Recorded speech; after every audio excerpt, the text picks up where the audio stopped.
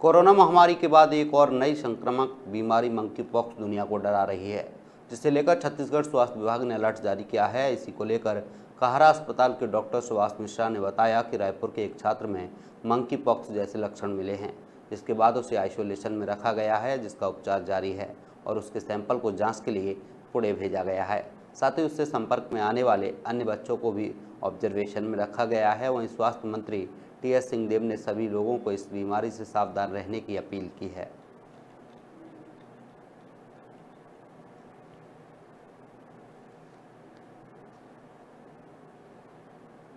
रायपुर में एक छात्र को मंकी पॉक जैसे कुछ लक्षण मिले हैं, शरीर में दाने मिले हैं, जिसके कारण से उसे आइसोलेशन में रखा गया है तथा इसके सैंपल को जाँच के लिए पुणे भेजा गया है। वो उसका उपचार एवं देखरेख मेकाहारा में चालू है। उसके संपर्क में आने वाले अन्य बच्चों को भी ऑब्जर्वेशन में रखा गया है। मंकी पॉक्स बीमारी की पुष्टि नहीं हुई है, किंतु सावधान रहने की आवश्यकता है।